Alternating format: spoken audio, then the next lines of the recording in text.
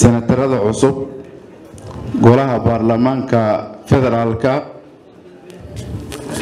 golaha baarlamaanka hiirshabeelle golaha wasiirada marti sharafka bahda saxaafadda fanaaniintii caawa ina ilowsiisay dibreshonkii doorashada naga soo gaaray ee caawa aada iyo aada noogu shiday ciidamada ammaanka waxaa idinku salaamayaa salaanta islaamka asalaamu calaykum waraxmat ullaahi wabarakaatu salaan kadib caawa waxaan rabaa inaan la qaybsado farxaddan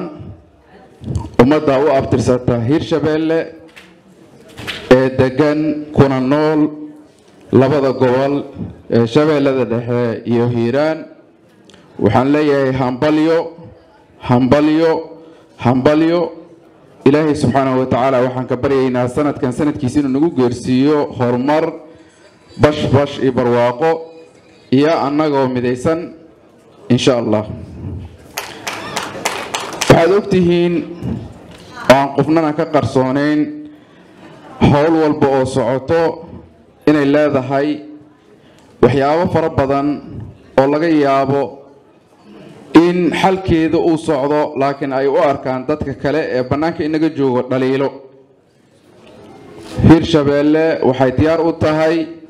inay xalliso booga dhaydo culaysyada ka jira dhexdeeda. Kama maaranno qof ka mid ah hiirshabeelle oo cabanayo ama tabanayo waxaana diyaar u nahay ha dheeraato ama ha dhowaatee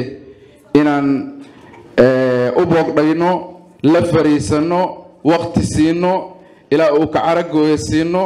ugu dambaysne waxaan leenahay hiirshabeelle way nagu filan tahay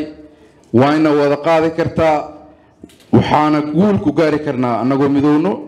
Waxaan aaminsanahay dadka tabashada iyo cabashada qaba waxaa jirto waddooyinka cabashada lagu soo gudbin karo miro dhalna lagu gaari karo in la qayliyo oo fowdo la sameeyo oo meelaha la istaago oo baraha bulshada laga hadlo wax micno ay soo kordhinaysa ma jirto. Waxaan codsanaynaa waxaa idiin furan gogoshii nabadda